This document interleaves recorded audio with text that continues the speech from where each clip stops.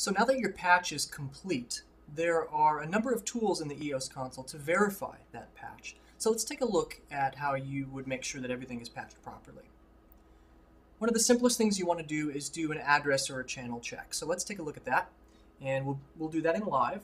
So we'll go uh, to live. And now we can use a special channel check command. So what we want to do to start the channel check is begin with the first channel that you want to check. In this case, number one. One, select the level. I'll put it at full.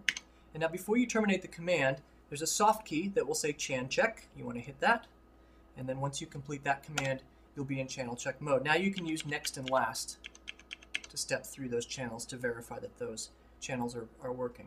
You can also use the, the address command to do something very similar. Um, and there is a soft key, and it's a, a second page soft key, so I have to hit more soft keys. Address, one, full, enter.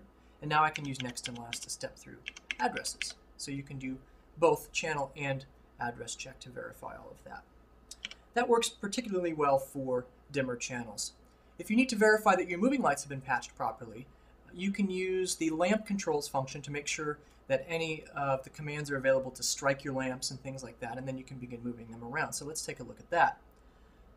I want to verify that my Mac 700s are ready, so I will go ahead and select them using a direct select. And then I can use the lamp control soft key, which in this case is again more soft keys, and hit lamp controls.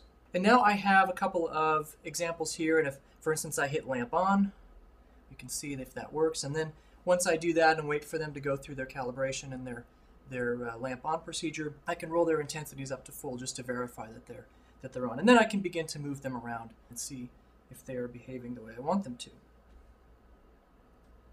And finally, I want to verify that my scrollers are working and are properly calibrated. So let's take a look at that. I'll bring up 11 through 14. I'll take those to full. And then I'm going to go to my color encoder page and make sure that I've got the right color there. And I can start rolling through my scrollers to see if they are functioning, and it appears that they are. But I also want to make sure that they're calibrated so that when I tell the EOS console that I want to go to the third frame or the fourth frame that the console puts it in the right spot. And here's the method that you would calibrate your scroller. With the scroller selected, go ahead and roll all the way to the last frame. And then if you have not already, go ahead and push the encoder so that it's switched into fine mode. And once you do that, there'll be a calibrate button that will appear on the touchscreen next to that encoder. Then what you want to do is use the encoder to center the frame to make sure it's exactly where you want and press the calibrate button. Once you've done that, press the last key to bring the, the scroll to the last known position for that frame in the console and just verify that it's actually centered. If it's not, use the encoder to center it and press the calibrate button. And you can just do that until you work your way all the, back, all the way back to the beginning of your scroll. And then the console will remember those settings so that the scrolls go to the appropriate location as you click through next and last. So those are some tools that you can use to verify your patch on the EOS.